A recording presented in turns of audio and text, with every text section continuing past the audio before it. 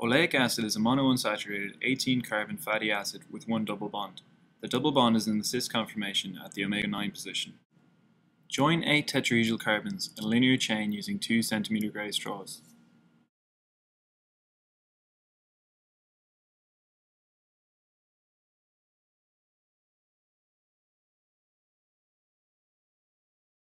Take two trigonal carbons and identify the peg opposite the 114 degrees angle.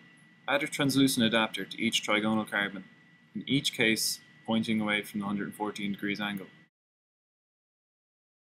Insert two 2 cm gray straws joining the two trigonal carbons along the direction of the translucent pegs. This creates a carbon-carbon double bond.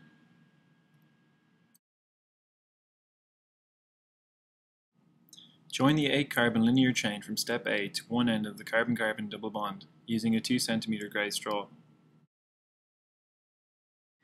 Join 7 tetrahedral carbons in a linear chain using 2 cm gray straws.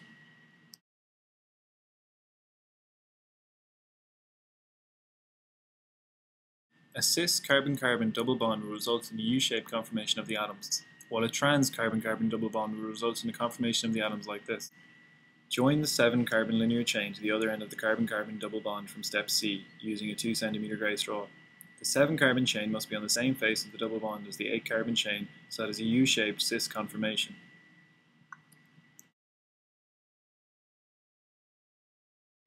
Repeat steps B to E from the stearic acid model to create another carboxyl group.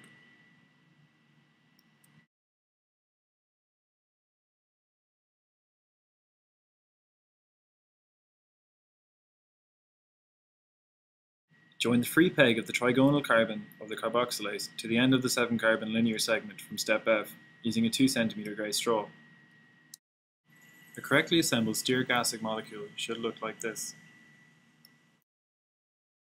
Keep this model to include as part of the phospholipid later.